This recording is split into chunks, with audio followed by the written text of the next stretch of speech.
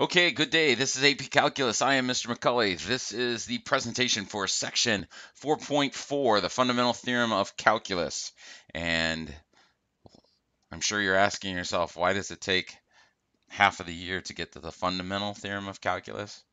Um, but that's kind of the way it is. But truly, the fundamental theorem of calculus is a um, amalgamation of both integrals and derivatives. So you might figure it out here as we move along. So let's get to it. Enough of that stuff. Today we're going to evaluate uh, the definite integral using the fundamental theorem of calculus. We're going to understand the mean value theorem for integrals. We're going to find the average value of a function over a closed interval. And then we are also going to understand the use of the second fundamental theorem of calculus and understand the net change theorem. So let's talk about that first one right there. The fundamental theorem of calculus, if f is a function continuous over some closed interval from a to b, and capital F is the antiderivative of f on the closed interval from a to b, then the integral from a to b of f of x with respect to dx is capital F of x evaluated from a to b, which essentially says plug in uh, b into capital F and subtract the uh, evaluated value of when you plug in A into F, capital F that is. And so some consequences from that. Uh, the definite integral finds the area of a curve on a closed interval as long as that um, function is above the x-axis. And so you also have to be careful of if that function ever dips below the x-axis. It's not really hard but you have to separate it into two functions and count that as negative, um, negative uh, area. As far as application problems go, we want to always uh, visualize the uh, integral as an accumulator, something that is adding up area over an interval. And I can show you some examples of that. And so we also, and I've kind of already talked about this, definite integral versus area under the curve. So if I want to, let's just, let's talk about the sine, just sine x real quick here. Um, we own, so if I say f of x equals sine x from uh, pre-calculus, if I go from negative pi over 2 to positive pi over 2, this goes from negative 1 to positive 1. And if I said, what is the area between the curve and the x-axis? I'd have to, and I said, well, I'm just going to use the, the definite integral. And I set up an integral from um, uh, negative pi over 2 to positive pi over 2. The definite integral is going to calculate this as negative area and this as positive area. And so the integral of sine x dx from negative pi over 2 to positive pi over 2 is going to be 0. But the area under the curve is a little bit different. It's all of this area. You'd have to calculate that one and then calculate that one.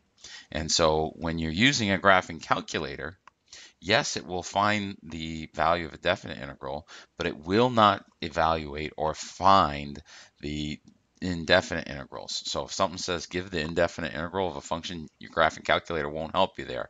It will also not take into consideration area under the x-axis. So if you plug, if you think, oh, they give you an area under the curve um, question, and you think, oh, I'm just going to plug that into my graphing calculator, you really have to be careful because they certainly might make it so that this function might dip below the x-axis, and you have to check that out. It's not that difficult just graph any function that you think you're going to do the uh, definite integral on and then check to make sure that it's always above the x-axis and you'll you'll be okay. The average value theorem for integrals, if f is continuous over the closed interval a to b, then the average value uh, over the uh, closed interval um, from a to b can be found by b or 1 over b minus a times the integral from a to b, the definite integral from a to b of f of x dx. So in simpler terms, you guys know how to do average. All right, you add up a total, total set of values divided by the number of those things that are there. And so since we said that you can think of the integral as an accumulator, this portion of the graph adds up all of the area and this tells you the number of values, I guess, is the best way for me to, to visualize it underneath that. And so you find the average of what that function is over that entire curve, especially if it's irregular. Now the mean value theorem for integrals is says that basically is this, is that if you find that f is continuous over a closed interval, there has to be a number c in the closed interval such that um, the value of the um, the integral is equal to the the function value times that difference. Now, really, you could probably write this as, again, 1 over this.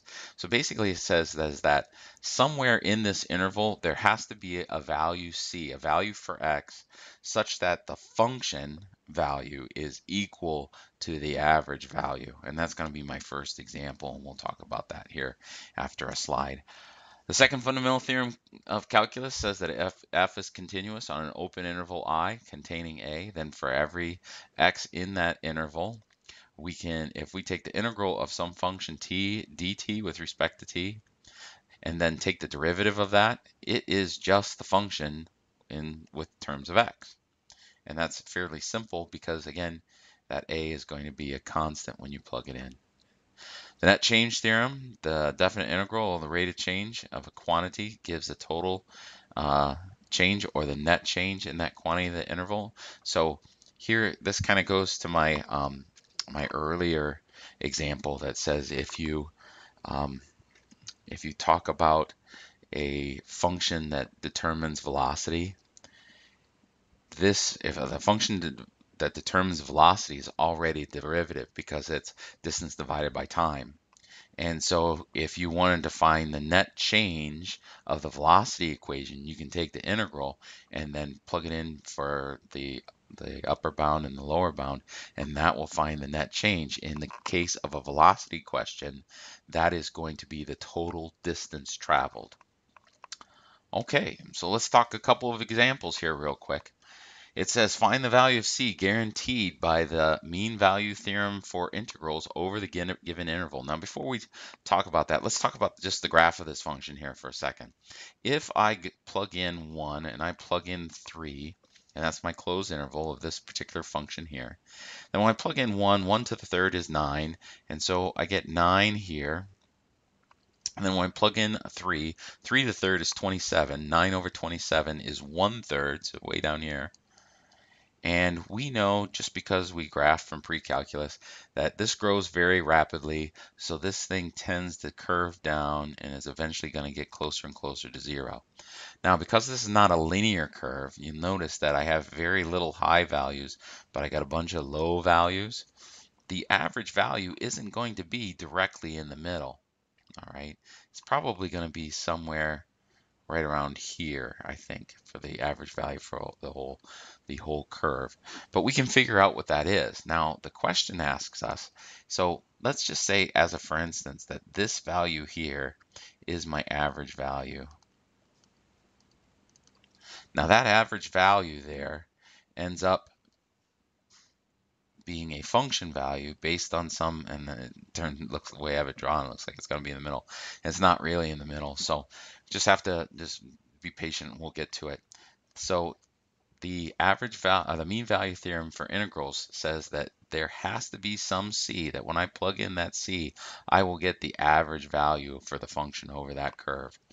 So let's do that. Let's find the average value first. So average value is going to be equal to, well, it's the integral from uh, a to b, which in this case is going to be 1 to 3 of the function 9. And I'm going to rewrite it here, x to the negative third, and then dx. And then that way I can apply the simple power rule on it. But I also need out in front that difference. So in this case, it's going to be 3 um, to 1.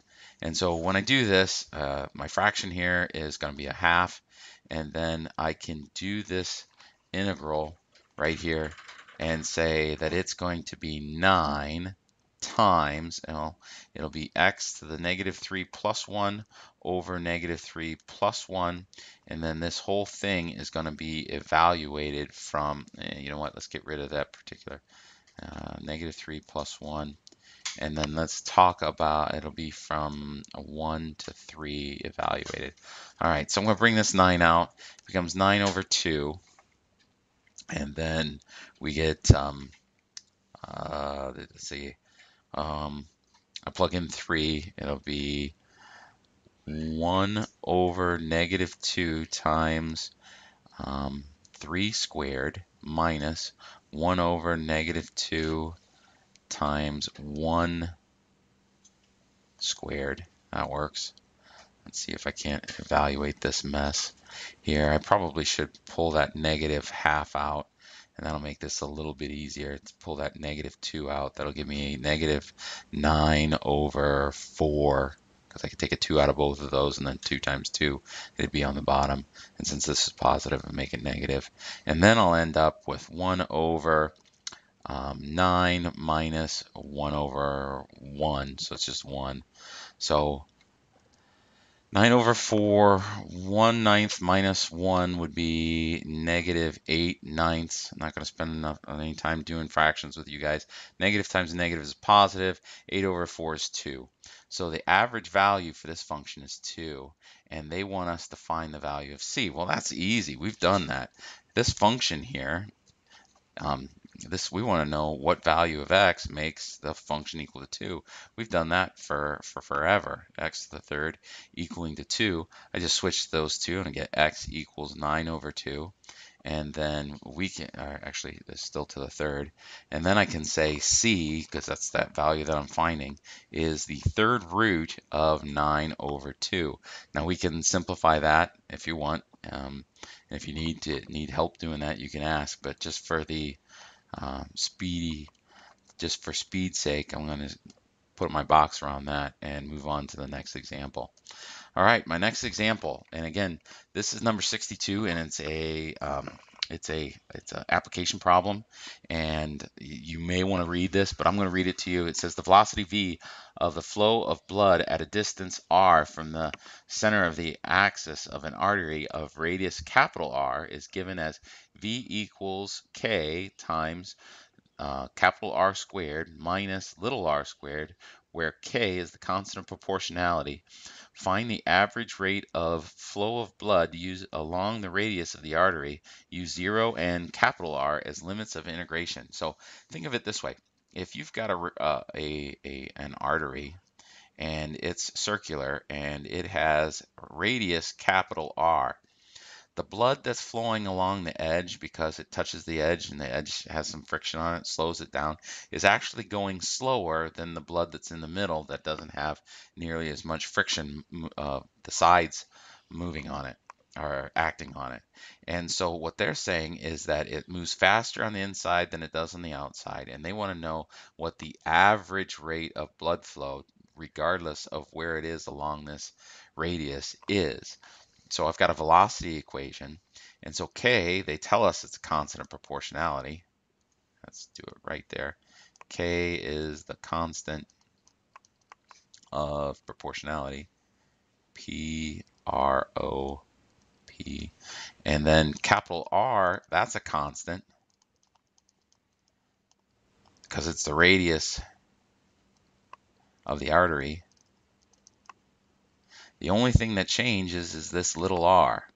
And so what this equation does is says, given some radius, it tells you how fast that blood, that, that um, cell of blood is traveling through the artery, depending on where it is. So they want to find out what the average value of that is. Well, we can do that. That's not a problem. That average value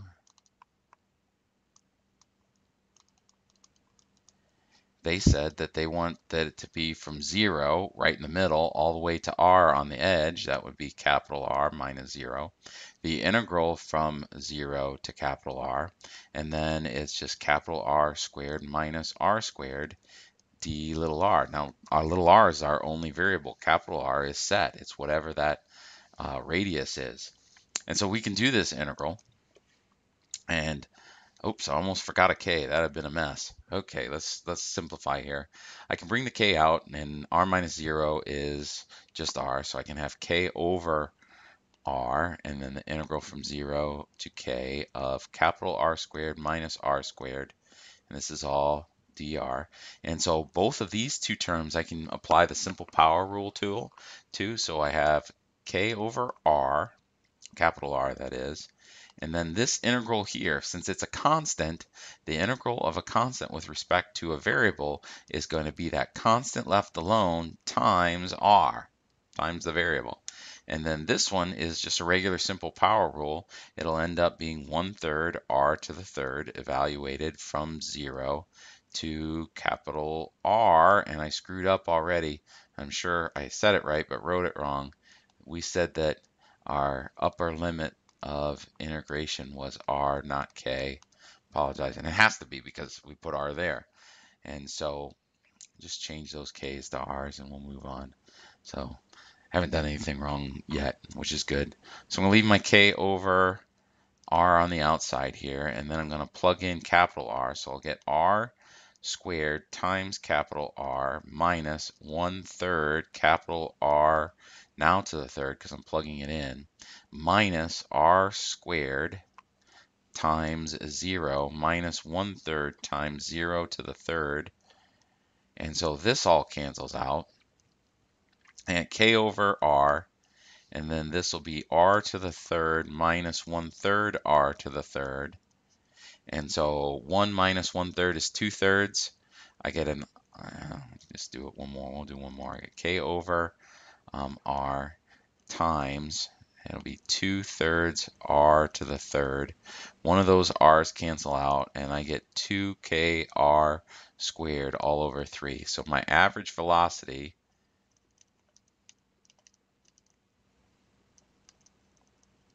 I think I spelled that right.